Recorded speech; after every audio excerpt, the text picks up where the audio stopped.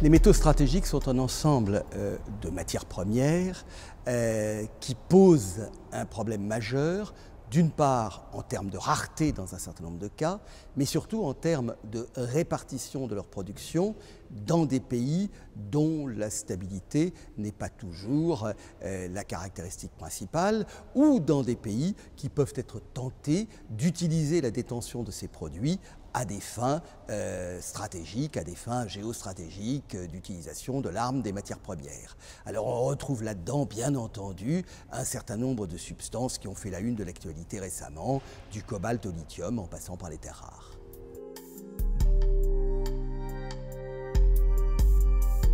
L'important, c'est d'avoir une réflexion sur euh, ce qui sera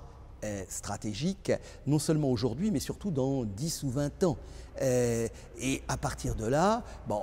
essayer de voir euh, où il peut y avoir des ressources dans des pays ayant euh, une stabilité plus grande, ou du moins dont on peut relativement sécuriser l'approvisionnement. Essayer bien entendu de faire évoluer les utilisations par exemple en utilisant moins de cobalt dans euh, les batteries électriques, et puis euh, euh, faire d'énormes efforts en ce qui concerne l'économie circulaire, c'est-à-dire la récupération et le recyclage, là aussi en essayant de se dire qu'est-ce qui sera important demain? C'est ça finalement la vraie question, c'est pas de savoir quels sont les métaux stratégiques aujourd'hui, mais quelles seront les substances stratégiques de demain, un demain qui doit se situer dans 10 ou 20 ans.